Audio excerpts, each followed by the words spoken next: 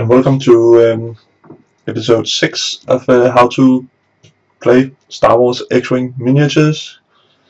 Um, in this episode I will uh, talk you through how to build a squad.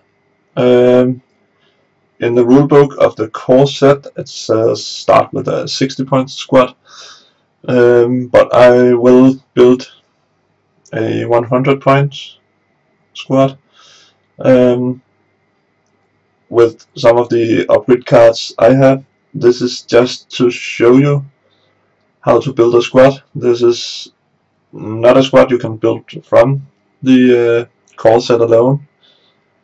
You will need cards from different waves. You need uh, some of the expansions also.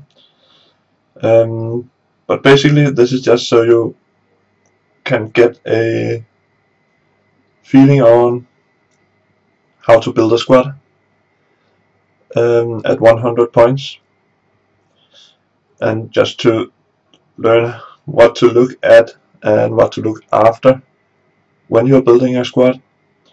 So let's start. Um, for starters, I have chosen a well-known pilot,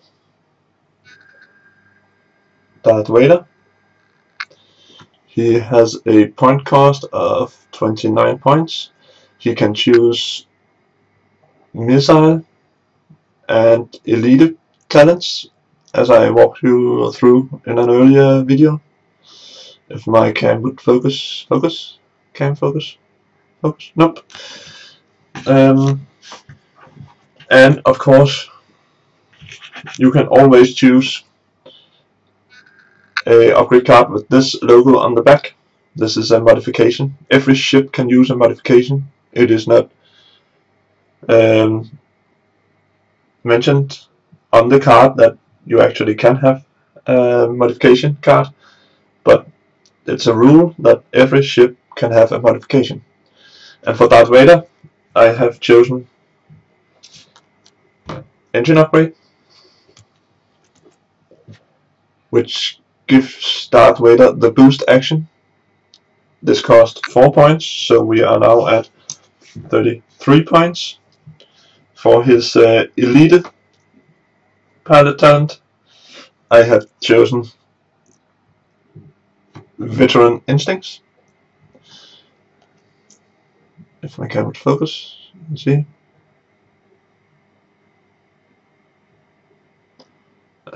Veteran Instincts cost 1 point and give you plus 2 to the orange number on your pilot card, which is your pilot skill. And that brings Darth Vader up to 11 points uh, in pilot skill and total of 34 points so far. And last, I have chosen to put a concussion missile on him at 4 points. This is a one-time use only. You can use it, uh, use it as an attack and you need to spend a target lock. That means you need to have a target lock on the one you will fire this missile at. You will then roll 4 red dice and you may change one of your blank results to a hit. This is a quite good missile, I think. I like this. Um, it's 4 points. You can only fire this at range 2 to 3. Um, next up, I have taken the uh, squad that's gonna follow Darth Vader. And first up, Howlrunner. It's a unique TIE fighter pilot when another French ship at range 1 is attacking with its primary weapon, it may reroll one attack die. He is one of the most used TIE fighters in a TIE Swarm list, and because of that ability. Um, he got pilot skill 8, so he's up there. He can take an elite pilot talent and of course a modification. Um, he got focus, barrel roll, and evade, and I forgot oh, focus, barrel roll, and evade actions. Yep, and I forgot to tell you that uh, Darth Vader.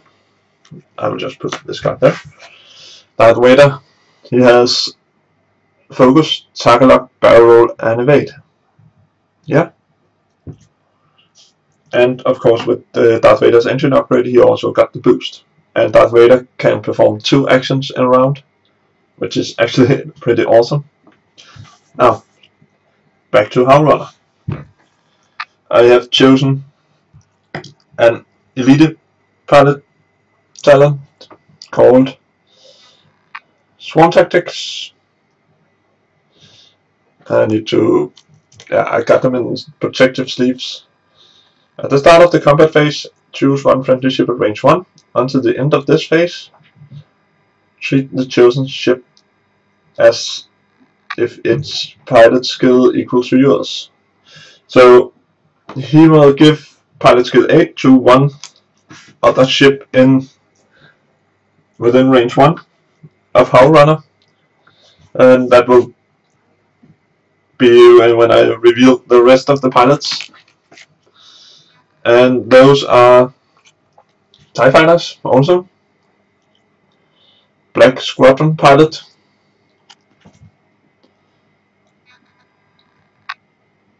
they don't have any unique abilities uh, other than that they can have a elite pilot talent. They cost 14 points. And by the way, Howl Runner costs 18 and 2 points 1. Swarm, swarm Tactics. Um, so I have bought three of those Black Squadron pilots. And the next card is actually from Wave 7, I think. Um, it's the good guard card, and I can re recommend it. Um, many uses it. Um, it is called Crackshot. When attacking a ship inside your firing arc, uh, I just could. Yep. When attacking a ship inside your firing arc, um, you may discard this card to cancel one of the defender's evade results.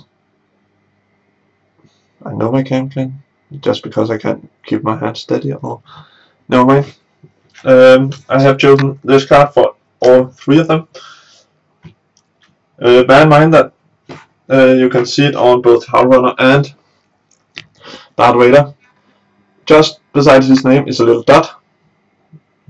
Um, that dot means that you can only have one Darth Vader in your list, whether it is a pilot as, as a pilot or as a crew card.